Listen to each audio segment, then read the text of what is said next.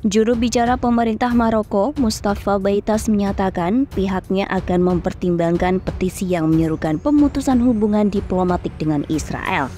Ia menyampaikan hal ini setelah rapat kabinet.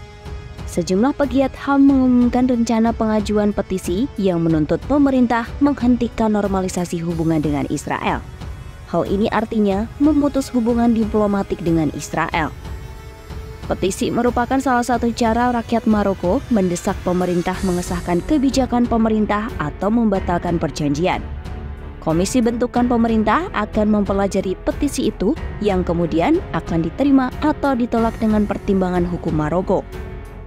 Agar dapat dipertimbangkan komisi itu, petisi harus ditandatangani 5.000 orang.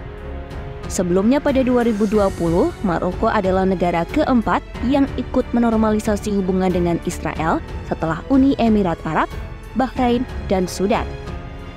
Diketahui, Israel terus menggempur Gaza sejak serangan Hamas pada 7 Oktober 2023. Sedikitnya 23.000 sorry, sedikitnya 23.357 warga Palestina tewas yang mayoritas adalah perempuan dan anak-anak sedangkan 59.410 orang lainnya mengalami luka-luka. Sementara itu, sekitar 1.200 orang Israel tewas akibat serangan Hamas. Akibat perang tersebut, 50 eh sorry. Akibat perang tersebut, 85% warga Gaza juga mengungsi di tengah kelangkaan makanan, air, dan obat-obatan. Sementara ratusan ribu orang lainnya hidup tanpa tempat berlindung.